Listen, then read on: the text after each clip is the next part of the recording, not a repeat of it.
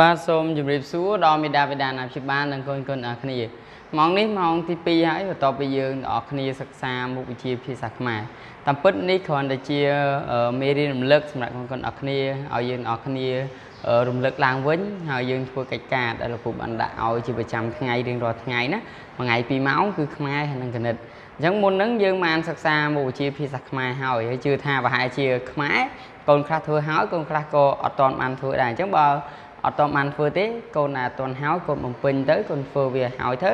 ហើយចំពោះកូនដែលហើយល្អមែនតើអញ្ចឹងបន្តនៅម៉ោងនេះបន្តទៀតអរគុណអញ្ចឹងកុំឲ្យខាត់ពេលយូរម៉ោងគណិតវិទ្យានេះគឺយើងនឹងរំលឹកទៅដល់មេរៀនអ្វីអញ្ចឹងគឺយើងរំលឹកមេរៀនទី1មេរៀនទី1ចំណងជើងអីគណិតវិទ្យារបស់យើងផ្លេចនៅគឺចំនួនអញ្ចឹងយើងអានជាមួយលោកគ្រូទាំងអស់គ្នាតោះចាប់ផ្ដើមគណិតវិទ្យាមេរៀនទី1ចំនួន នៅទំព័រទី1អញ្ចឹងមេរៀននេះគឺនៅទំព័រទី1តែម្ដងណាយើងបើកទៅទំព័រទី1ឃើញហ่ะមេរៀន1គេប្រែថាចំនួនប៉ុន្តែយើងមិនរៀននៅទំព័រទី1ទេតោះនៅមេរៀនរំលឹកនេះមិនមែនរៀនតាមលំដាប់លំដោយឧទាហរណ៍អឺចំណងជើងមេរៀនទី1ប៉ុន្តែអត្ថបទដែលយើងរៀនឬក៏ចំណងជើងដែលយើងរៀនវានៅទំព័រផ្សេងតោះណាត់អញ្ចឹងដូចនៅនេះអញ្ចឹងលោកគ្រូលើកយកនៅទំព័រទី5 តែនៅក្នុងកាលវិភាគដែលលោកគ្រូបានផ្ញើឲ្យយើងមើលគឺនៅទំព័រទី5យើងអានចំណងជើងជាមួយលោកគ្រូឲ្យលឺលឺទាំងអស់គ្នាតោះដោយសារមេរៀនហ្នឹងយើងធ្លាប់រៀនហើយអញ្ចឹងយើងអានឲ្យលឺលឺជាមួយលោកគ្រូចូលរួមជាមួយគ្នាចាប់ផ្ដើមការបង្គុតចំនួនត្រឹមខ្ទង់ម៉ឺនបាទសុំម្ដងទៀតការបង្គុតចំនួនត្រឹមខ្ទង់ម៉ឺនទំព័រទី5អញ្ចឹងយើងអាចចូលរួមសិក្សាជាមួយលោកគ្រូបាន ហើយសូមកូនកូនអរគ្នាយើងរៀបចំតោះឥឡូវយើងរៀបចំ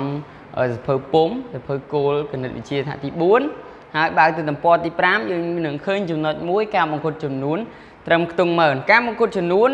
គឺយើងត្រូវបង្គុតវាឲ្យទៅជាចំនួនគុតឥឡូវចំនួននេះគឺជាចំនួនគុតហើយយើងអត់ទាន់រៀនដល់ចំនួនទស្សភាអីចំនួនគុតអញ្ចឹងបង្គុតចំនួននេះគឺលោកគ្រូតែងតែប្រាប់អញ្ចឹងខ្ទង់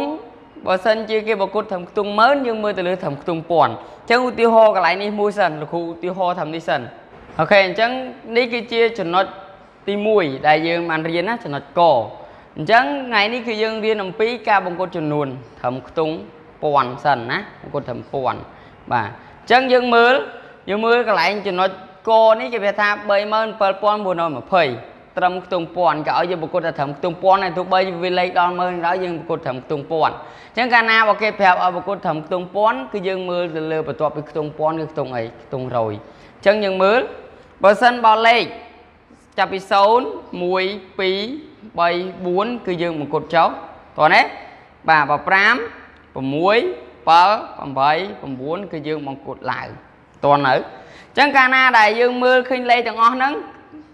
អានេះដល់ចុះហ่ะអាប៉ុណ្នេះដល់ឡើងហ่ะអត់មានអីច្រើនទេអញ្ចឹងកន្លែងនេះគេឲ្យយើងបង្គុតត្រឹមខ្ទង់ពាន់ខ្ទង់ពាន់លេខប្រហែលលេខ7អញ្ចឹងកាលណាដែលគេឲ្យយើងបង្គុតត្រឹមខ្ទង់ពាន់នេះលេខ7នេះអញ្ចឹងយើងដឹងអាខ្ទង់ពាន់ហ្នឹងហើយ អញ្ចឹងយើងអត់មើលខ្ទង់ពាន់ហ្នឹងទេគឺយើងមើលទៅលើខ្ទង់រយខ្ទង់រយលេខប៉ុន្មានលេខ9អញ្ចឹងយើងមកគុតឡើងគុតឡើងទៅជាប៉ុន្មានគឺលេខ3700 37920បាទមកគុតទៅជាប្រមាណលេខ9មកគុតឡើងក៏ចុះមកគុតឡើងអញ្ចឹងយើងបានទៅជា38000ណាតើគ្រូនិយាយទេ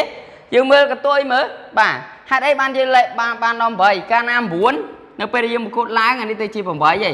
វាឡើងអានេះមកខ្ទង់ណាបាទបើសិន6វាឡើង7បើ7វាឡើង8តោះណាអញ្ចឹងកូនត្រូវចាំណាកន្លែងនេះគឺគេបង្គុតហ่ะបាទបើគេឲ្យបង្គុតត្រឹមខ្ទង់ពាន់យើងមើលខ្ទង់រយបើគេឲ្យយើងបង្គុតត្រឹមខ្ទង់ម៉ឺនយើងមើលខ្ទង់ពាន់តោះណត់ឥឡូវយើងមើលគេបង្គុតត្រឹមខ្ទង់ម៉ឺនម្ដងតើគេមើលលើខ្ទង់អីមើលជាមួយលោកគ្រូទាំងអស់គ្នាអូខេអញ្ចឹងយើងឈានចូលមកដល់ចំណុចខចំណុចខគេឲ្យយើងបង្គុតចំនួន 85630ត្រឹមខ្ទង់ម៉ឺនណាមកគុតត្រឹមខ្ទង់ម៉ឺនអញ្ចឹងកាលណាដែលគេឲ្យយកមកគុតត្រឹមខ្ទង់ម៉ឺនកូនកលេចមកមើលត្រឹមខ្ទង់ពាន់ជានិច្ចមានន័យថាកាលណាដែលគេឲ្យកំណត់អាចំនួនដែលច្រើនអញ្ចឹងកូនមើលអាបន្ទាប់នេះអានេះខ្ទង់ម៉ឺនណាលេខ8ដល់ខ្ទង់ម៉ឺនណាអញ្ចឹងបន្ទាប់ពីម៉ឺនមកវាមិនខ្ទង់ពាន់មិនអញ្ចឹងណាខាងក្រោមខ្ទង់ម៉ឺនមិនខ្ទង់ពាន់អញ្ចឹងកាលណាដែលគេឲ្យបង្គុតត្រឹមម៉ឺនគឺយើងមើលអាក្រោយប៉ុន្តែបើគេឲ្យបង្គុតត្រឹមពាន់យើងមើលអាក្រោយទៀតគឺខ្ទង់រយបើគេឲ្យបង្គុតត្រឹមខ្ទង់រយយើងមើលទៅខ្ទង់10នេះតើមានលេខប្រមាណទៀតអញ្ចឹងតតគ្នាឥឡូវគេឲ្យបង្គុតត្រឹមខ្ទង់ម៉ឺនយើងមើលខ្ទង់ពាន់ខ្ទង់ពាន់លេខប្រមាណលេខ5អញ្ចឹងបង្គុតឡើងក៏ចុះបង្គុតឡើងអញ្ចឹងបានមិន80000 5640 30យើងបង្កត់បានទៅជាប្រមាណបាទ អញ្ចឹងយើងមើលទៅលើលេខប្រមាណយើងមើលទៅលើលេខ5លេខ5បង្កត់ឡើងក៏បង្កត់ចុះបង្កត់ឡើងអញ្ចឹងកាលណាដែលឡើងអាខាងមុខថែមមួយលេខទៀតវាទៅជា9 90000អញ្ចឹងយើងសរសេរមក90000ឃើញទេ90000អញ្ចឹងកូនកុំឆ្ងល់ណាបាទនេះវាលេខ8វាឡើងដល់9ណាបាទនេះលេខ9វាឡើងទៅ10ទៀតហ៎បាទលេខ6វាឡើង7អញ្ចឹងទៅតោះនៅនេះគឺជាអ្វីដែលលោកគ្រូរំលឹកទេអញ្ចឹងកូននឹងមើល ជាមួយលោកគ្រូទាំងអស់គ្នាបន្តទៀតនៅកិច្ចការផ្ទះជាមួយលោកគ្រូទាំងអស់គ្នាតោះចាប់ផ្ដើមអរគុណអញ្ចឹងកិច្ចការផ្ទះនេះយើងអាចបើកទៅលំពណ៌ទី5ហើយយើងនឹងឃើញជាមួយគ្នា នៅលំហាត់ទី1អញ្ចឹងគេឲ្យយើងបង្គុតចំនួន បាទគេឲ្យយើងបង្គុតចំនួនកន្លែងនេះគេថាចូលបំពេញចន្លោះខាងក្រោមក3465បង្គុតទៅជា3460ដូចនេះចំនួន3450 6មង្គលត្រឹមខ្ទង់អីណា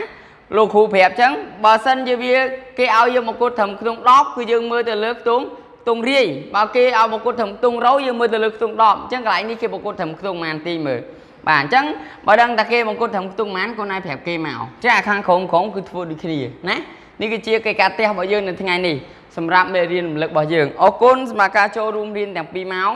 ទាំងខ្មែរហើយនិងគណិតនៅថ្ងៃនេះ ជួបគ្នាថ្ងៃស្អែកខ្មែរគណិតបន្តទៀតកុំភ្លេចធ្វើកិច្ចការផ្ញើមកលោកគ្រូដើម្បីឲ្យលោកគ្រូបានទទួលយក